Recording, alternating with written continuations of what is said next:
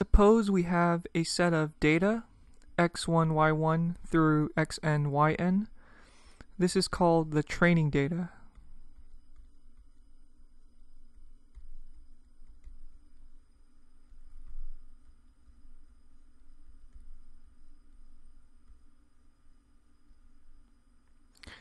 Okay, now each xi here each xi is a vector xi1 through xip of measurements where xi1 is an instance of the first input variable x1 xi2 is an instance of the second input variable x2 etc now, x1 through xp, those are called features.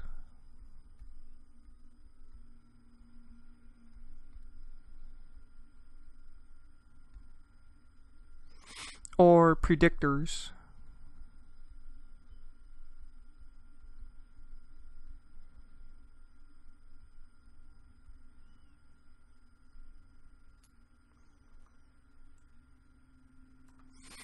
Okay, now y1 through yn.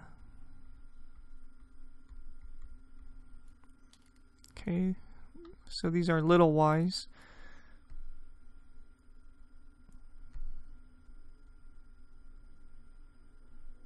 y1 through yn are instances of the output variable y, which is called the response.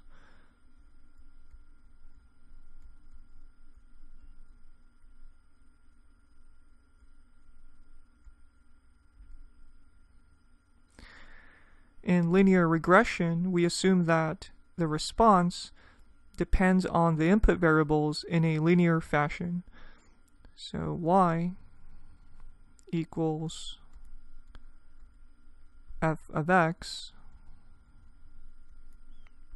plus epsilon, where f of x is equal to beta 0 plus beta 1 x1 plus dot dot dot beta p xp okay now here epsilon is called the error term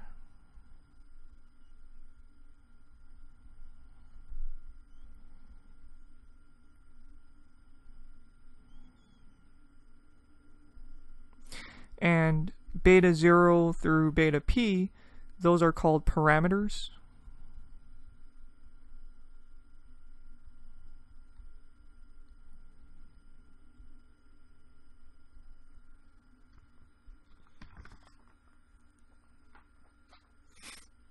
Okay, now we don't know the values of beta 0 through beta p.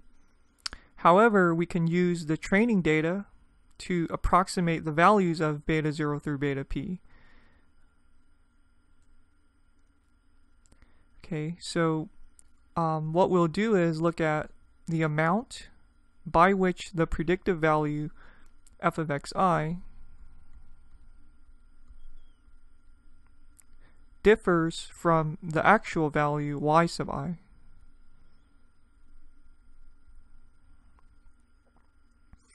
Okay, so um, we look at the amount by which f of xi differs from the actual y sub i for each of the pairs x1, y1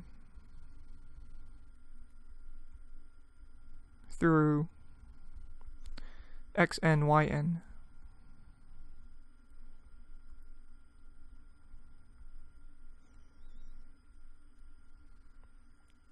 Okay, um, so this is the training data.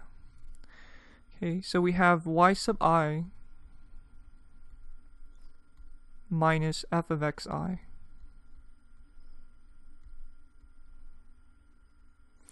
as the difference. We then square this and take the sum for i equals 1 through n.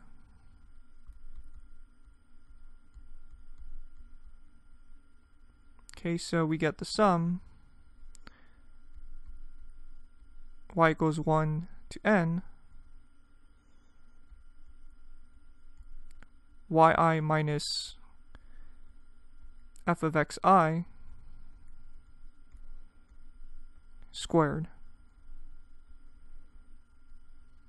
Okay, so we have a sum of squares. This is called the residual sum of squares.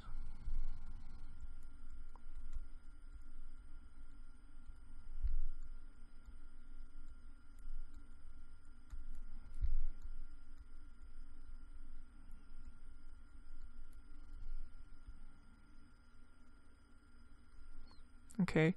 And it's denoted RSS of beta.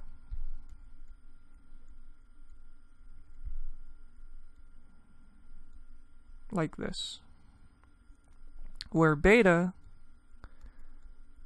is the column vector of beta 0 beta 1 to beta p